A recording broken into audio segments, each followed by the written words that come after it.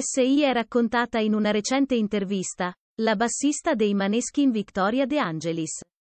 Un passato difficile per la giovane musicista che ammette, c'era qualcosa di rotto. Con la grande vittoria di X Factor, che nel 2017 li aveva fatti conoscere al grande pubblico, i Manechesin erano passati dalle strade di Roma ai grandi palcoscenici. La fama internazionale è arrivato però quattro anni dopo, con la vittoria di Sanremo prima, e dell'Eurovision poi. Quattro anni pieni di soddisfazioni per la band, che con diversi singoli di successo si era già piazzata in cima alle classifiche del nostro paese.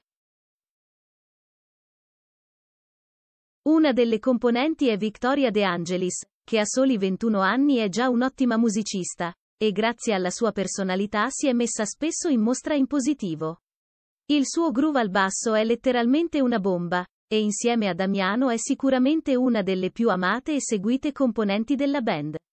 Il passato della classe 2000 però è stato duro, soprattutto in età adolescenziale.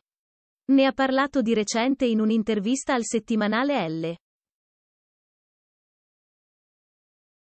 Un'infanzia nel segno della ribellione, quella dello stereotipo della femminuccia, culminato con la scoperta del rock che le etichette le ha sempre escluse.